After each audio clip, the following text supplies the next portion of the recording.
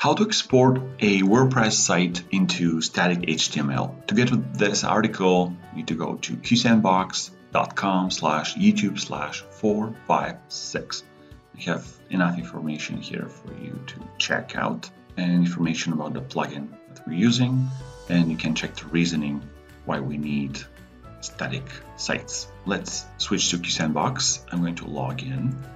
I need to go to plugins, add new, just search for Simply Static, install it, activate it.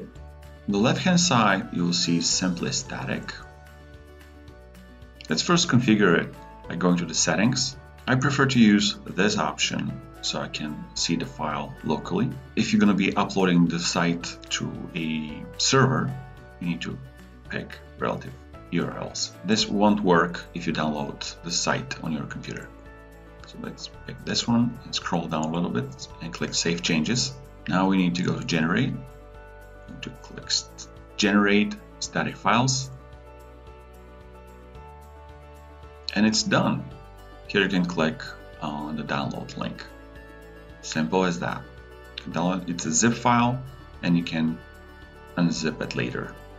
And to get to this article, you need to go to qsandbox.com slash youtube slash 456. Make sure you subscribe, and if you need a staging site, check out qsandbox.com. Thanks, and have an awesome day.